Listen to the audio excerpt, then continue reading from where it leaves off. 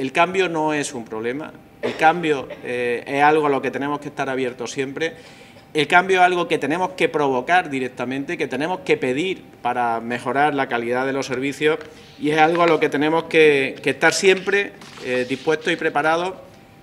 con la garantía de que esos cambios mejoren el servicio que prestamos a los ciudadanos. Esa es la razón de ser de un Gobierno, prestar un servicio a la ciudadanía,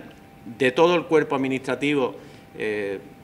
del que formáis parte y, que se dirige desde un Gobierno, no tendría sentido ninguna administración sin el administrado y no podemos ser un fin en nosotros mismos. Por eso, cuando se ven proyectos en lo que por encima de cualquier otra cosa el objetivo es mejorar ese servicio, uno se siente orgulloso. Creo que, somos mayoría los que tenemos eh, esa decisión y esa determinación y tenemos la obligación de transmitirle a la sociedad que esa mayoría se va a acabar imponiendo y va a ofrecerle el tipo de administración que la sociedad del siglo XXI nos pide, que seguramente tiene mucho que ver